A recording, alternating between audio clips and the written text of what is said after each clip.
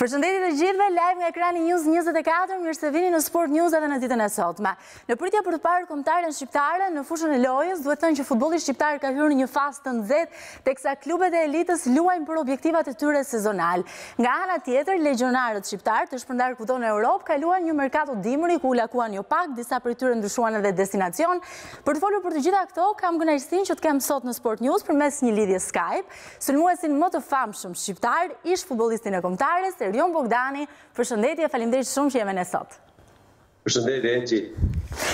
Bogdani, në fakt edhe këtë sesion të merkatos, legjionarët shqiptarë ishin protagonistë, u lakuan jo pak, pati dhe transferime dhe unë dua në fakt që të analizojmë së bashku si fillim disa nga lëvizjet më të rëndësishme dhe dua ta, ta nis me Uzunin, i cili nga Ferencvarosh u zhvendos në La Liga dhe Granada. S'e di si e mendon dhe si e analizon këtë lëvizje të tij. Për mendimin tim është një lëvizje shumë e mirë edhe për karrierën e Uzunit. Unë mendoj domethënë që si futbollist ai e meriton domethënë këtë lëvizje sepse faktikisht ka pasur një një rritje dhe po ta shikojmë domethënë ka ka ndjekur domethënë edhe shkallët e duhura dhe kujton domethënë dhe dhe lëvizjet e mia domethënë kur kam qenë në fillim të karrierës time sepse faktikisht ai tregoi veten në kampionatin shqiptar, ishte një nga lojtarët më të mirë në kampionatin shqiptar, mbastaj kaloi në Kroaci ku dhe atje bëri shumë mirë dhe ishte një nga lojtarët domethënë më të mirë të kampionatit kroat, ka pasur shumë oferta dhe pastaj domethënë bëri një hap domethënë jo shumë të madh, por një hap domethënë një hap në rritje, siç siç ishte dhe e kampionati hungarez apo siç ishte dhe skuadra e Ferencvaroshit, sepse faktikisht ai luajti, mori pjesë domethënë fitoi kampionatin, bëri gola dhe mori pjesë dhe në evenimentin domethënë më të madh të futbollit siç është Champions Liga, duke luajtur domethënë kundër skuadrave të mira, duke u paraqitur shumë mirë dhe mbas një ecurie të mirë te Ferencvaroshi tashi domethënë kaloi në një kampionat shumë të mirë siç ishte siç është ai spanjoll, duke për mendimin tim, duke dhe shpresoj domethënë që t'i japi edhe vazhdimësi domethënë edhe karrierës tij, sepse duke treguar veten domethënë në këtë skuadër ose në këtë ligë nuk diskutohet domethënë që ai do konsiderohet dhe si dhe si lojtar dhe shpresoj domethënë që të kalojë domethënë në një skuadër më të mirë dhe ta tregojë veten. Por megjithatë, unë mendoj domethënë që është një lëvizje domethënë shumë e e mirë dhe për atë dhe faktikisht është në një kampionat domethënë që është një nga kampionatet më më të bukura të Evropës. Mund të themi që e sheh Granadën le të themi si një lloj trampoline sepse vështirë që ta shohim në Evropë ndoshta siç e shihnim me Ferencvaroshin. Edhe çfarë impakti mund të ketë kjo lëvizje edhe në kombëtare? Jo, është e vërtetë, po duke parë domethënë siç e thashë më parë dhe karrierën e tij, normalisht domethënë në qoftë se do ta tregojë veten dhe te Granada, do ta tregojë veten duke luajtur shumë mirë dhe duke duke bërë gola, nuk diskutohet domethënë që me moshën që ka, nuk diskutohet domethënë që do, do një klub domethënë dhe më më i mirë se Granada, nuk diskutohet domethënë që do ta do ta kërkojë. Megjithatë, mendoj domethënë që këtu ka arritur në një në një kampionat në një kampionat shumë të fortë, siç është ai spanjoll dhe mendoj domethënë me kualitetet që ka dhe sidomos domethënë dhe me atë që ka treguar dhe te Ferencvaroshi, mendoj domethënë që do bëjë mirë, do sepse është një lojtar një lojtar i shpejtë, një lojtar domethënë sulmues që e njeh dhe portën dhe mendoj domethënë që nuk do ketë probleme dhe do do bëjë shumë mirë dhe në në kampionatin spanjoll. E nisi zjarr kundër Real Madrid, por ndërkohë në La Liga duhet thënë që kemi edhe dy lojtarë të tjerë, është Bare dhe Balliu. Ky i fundit është shumë i diskutuar në fakt sepse është titullar fiks tek Rajo, por ama nuk preferohet shumë nga Edi Reja. U shpall edhe lojtari i muajit. Nuk e di, e ka luksin kombëtarja që të lërë le të themi jashtë apo të mos pranojë një lojtar si Balliu? Jo, luksin nuk e ka, megjithatë duhet parë domethënë çfarë roli ka dhe çfarë domethënë mendon trajneri domethënë për rolin e e Balliut dhe duke parë domethënë dhe lojtarët e tjerë që lozin domethënë në kombëtare që a janë në formë apo s'janë në formë si si si Balliu. Megjithatë mendoj domethënë që të luash në në kampionatin spanjoll dhe të luash domethënë titullar siç siç po luan domethënë Balliu normalisht që mendoj domethënë që edhe trajneri e ka parë por Normalisht domethënë është një një lojtar që që e ka treguar veten dhe mendoj domethënë që nuk është një kampionat dosido, është një nga kampionatet, domethënë një nga pesë kampionatet më të forta në në Europë. Ndërkohë shkojmë tani tek Seria A, nuk pati lëvizje, por ama mbeten shumë çështje të hapura dhe dua të ndalemi pikërisht tek Strakosha që nuk po rinovon me Lacion dhe flitet për një kalim të tij në Premier Ligë. Cila mendon se është e ardhmja më e mirë për Strakoshën? Unë faktikisht përpara dy tre javësh kur Lazio luajti luajti me Salernitanën e takova personalisht Strakoshën, takova domethënë dhe lojtarë të tjerë edhe drejtorin sportiv të të Lazios, Igli Tare. Megjithatë mendoj domethënë që puna e Strakoshës ka ka një vit ose një vit e gjysmë flasim domethënë për që është bërë çështje për rinovim kontrate tek tek Lazio. Unë mendoj domethënë me atë që ka dhënë Strakosha tek ekipi i Lazios, mendoj domethënë që Atij i duhej t'i rinovohej kontrata. Pastaj nuk kam hyrë në detaje sepse faktikisht domethënë nuk nuk e di domethënë çfarë ka kërkuar domethënë lojtari dhe çfarë i ka ofruar Lazio si si ekip. Megjithatë, flasim për një për një portier për mendimin tim, një portier shumë të mirë, një portier domethënë që ka bërë mirë te Lazio, një portier që është në në kulmin e karrierës së tij dhe një portier domethënë që nuk ka problem domethënë të të të ndryshojë domethënë skuadrën. sepse ka shumë skuadra ose siç i kam lexuar nëpër gazeta ka shumë skuadra dhe nga Premier Liga që janë të interesuar për për për Strakoshën. Mendoj domethënë që mendoj domethënë që kjo gjë domethënë ta të zgjidhet sa më shpejt. Unë unë kisha dëshirë domethënë si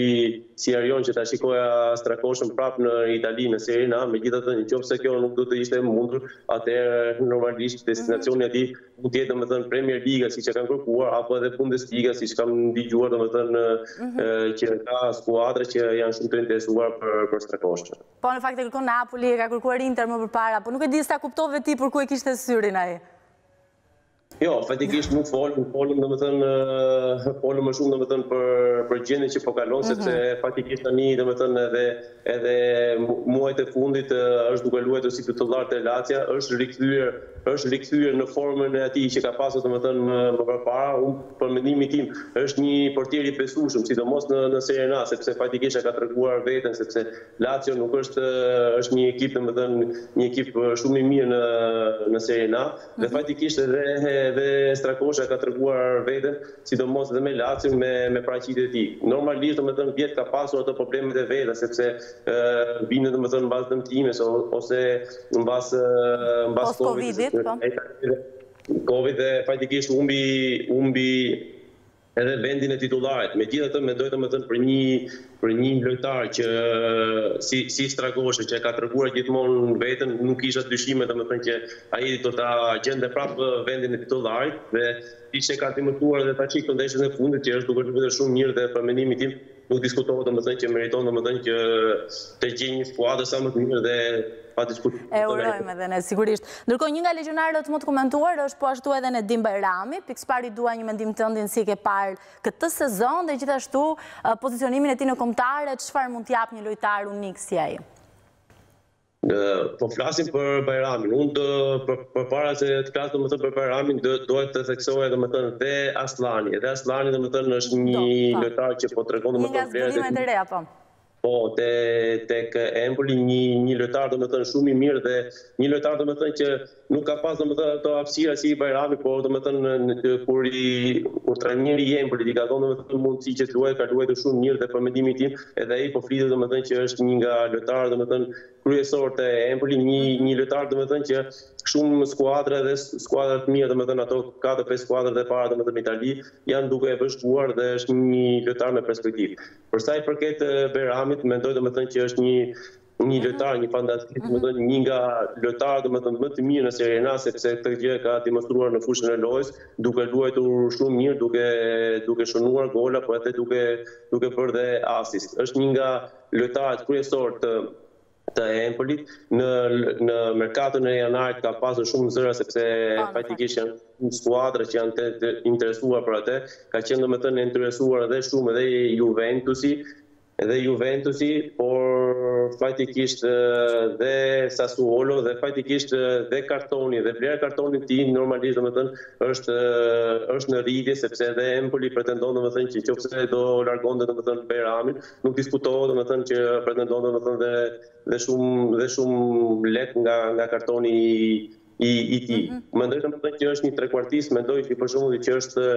ai është një një luks edhe në kombëtaren shqiptare sepse faktikisht është një lojtar që po e tregon domethënë nga java në javë po e tregon domethënë veten, një lojtar domethënë i ri me perspektivë, që një lojtar që mund të japi shumë domethënë dhe tani te Empoli nuk diskutohet domethënë ku po luan, por edhe tek kombëtarja jonë. Meqenëse ma përmende Asllanin, se unë e kisha ruajtur pak më poshtë, e sheh si një pikë të rëndësishme referimi për kombëtaren për të ardhmen? Si pikë referimi, pa diskutim domethënë me ato që ka treguar, megjithatë karriera e futbollistit domethënë nuk është se është bërë me ndeshjet që ka zhvilluar. Ajo domethënë karriera e futbollistit bëhet domethënë me ndeshjet që do të zhvillojë. Nuk diskutohet domethënë që i ka të gjitha mundësitë dhe i ka të gjitha perspektivat që që të luajë shumë mirë dhe dhe që të jetë domethënë një një lojtar domethënë një pikë fikse te ekipi kombëtar. Megjithatë, Kjo i ngelet atij që të tregojë domethënë javë për javë duke luajtur ose duke gjetur hapësira tek ekipi i tij siç është Empoli dhe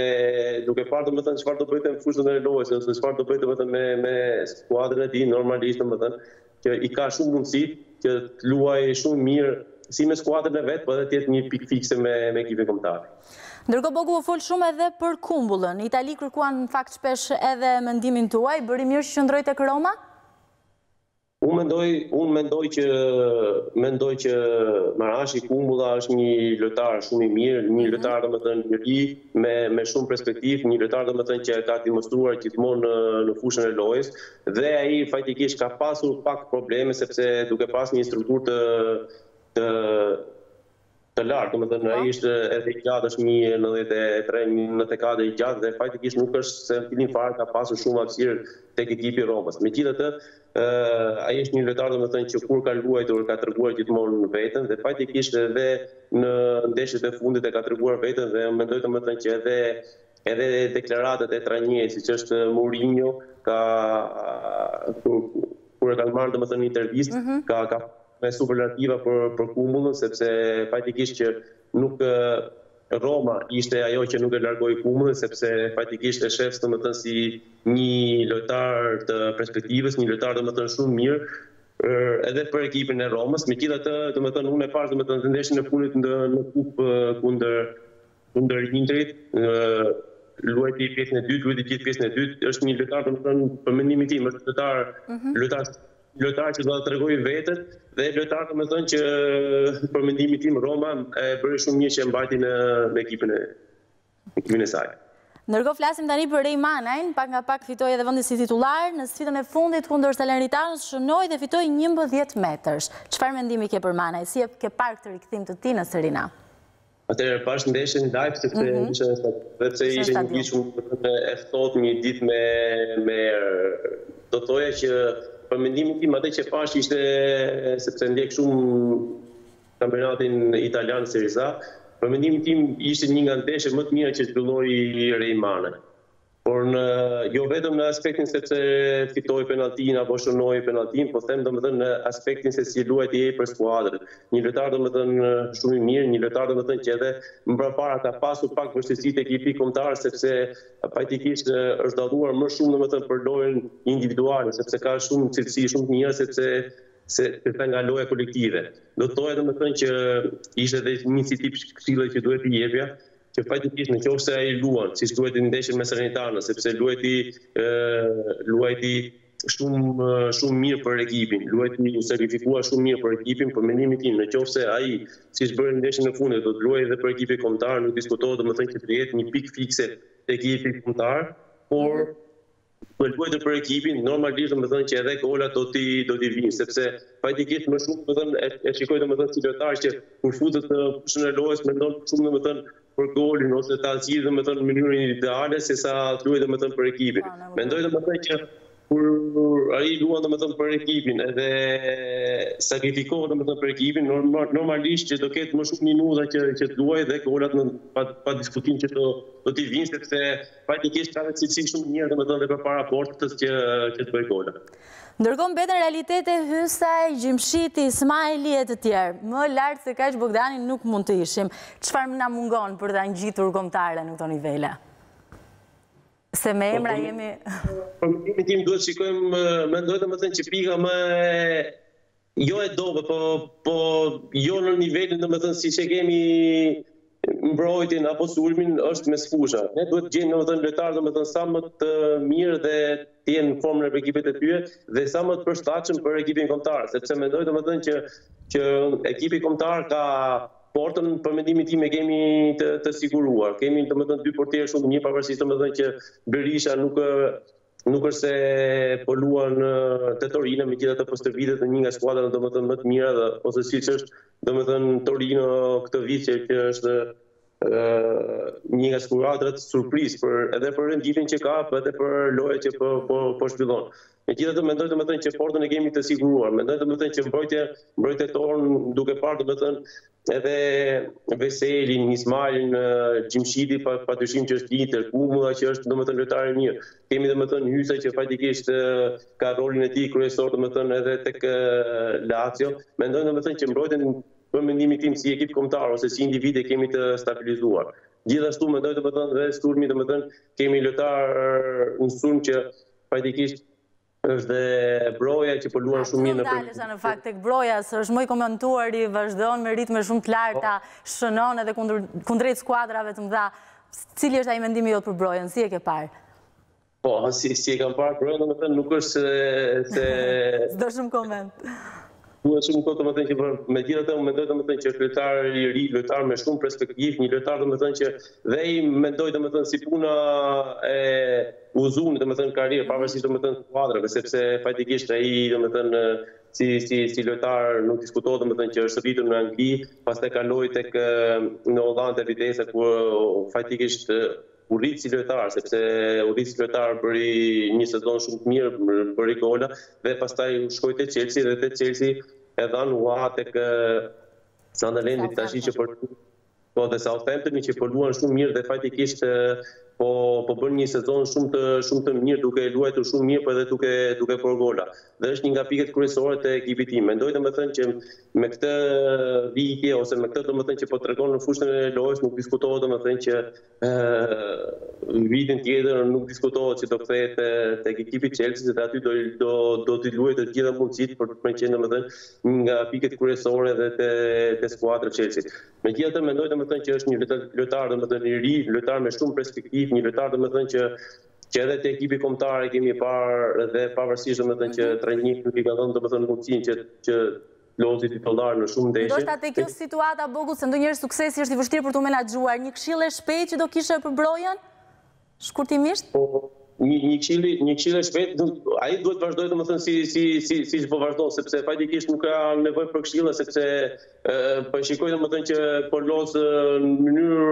mënyrë fantastike, domethënë edhe te te skuadra e tij dhe duhet të vazhdojë në këtë mënyrë. Okay. Këshilla ime në këtë moment nuk është se kam një këshillë, duhet të vazhdojmë domethënë me këto ritme. Shpresoj domethënë që të ketë sa më pak dëmtime, sepse e kam parë domethënë kam lexuar domethënë që ka pasur pak ca ca dëmtime të vogla, që këto dëmtime mos ta mos ta lenë mbrapa, por në qoftë se domethënë do vazhdojë kështu ose siç e kemi parë domethënë në çdo ndeshje, nuk është se ka nevojë për për këshilla, ka nevojë domethënë që të ecë përpara domethënë në këtë në këtë mënyrë, mendoj domethënë që edhe familjen e ka afër, mendoj domethënë që edhe gjithë tifozët ose gjithë domethënë Shqipëria e ka nga afër sepse për mendimin tim është një lojtar i perspektivës dhe një lojtar domethënë i perspektivës edhe për ekipin tonë kombëtar dhe tani për mendimin tim që ta kemi Brojen në ekipin kombëtar është është luks edhe për ne. Dhe i gjithë opinioni sportiv i uron më të mirën.